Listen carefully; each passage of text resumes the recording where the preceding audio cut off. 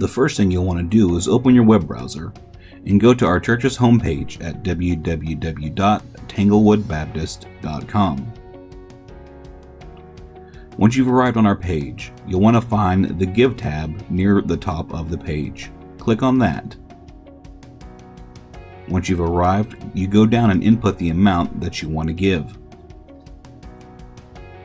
You'll notice in the memo line you can allot where you want your money to go. This is an important step if you want to give to a specific ministry. You'll need to select the frequency of the gift that you want to give. And then it's on to entering payment details.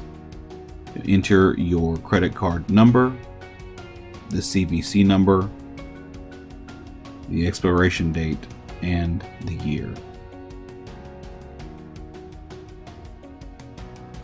Once you've inputted this information, you can either create an account or log in as a guest. If you've decided to create an account, you'll want to fill out the appropriate fields to set up your username and password.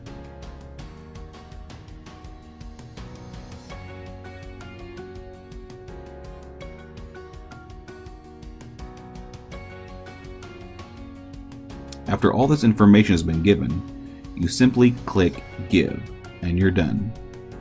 Thank you for giving. If you have any questions, please feel free to contact us by phone or by email. We will do our absolute best to help you. Thank you.